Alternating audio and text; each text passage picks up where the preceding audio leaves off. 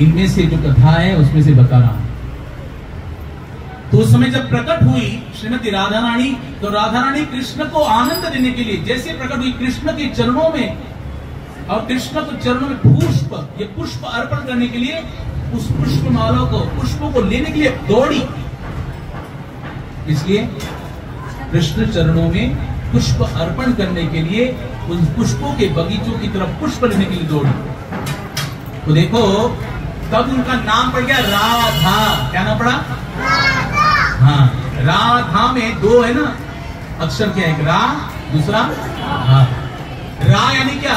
रा ये अक्षर है ये रासमंडल का प्रतीक है। किसका प्रतीक है? रासमंडल का प्रतीक। और रासमंडल का प्रतीक रा है और धा मतलब भाव मना। मतलब जो तो भागते दौड़ी। किसलिए दौड़ी? कृष्ण के चरणों में पुष्प अर्पण करने की, सेवा करने के लिए दौड़ी। इसलिए धा, रा, धा। वो राधा, रानी की हाँ इसलिए कृष्ण को अतिशय प्रिय है। कौन? राधा।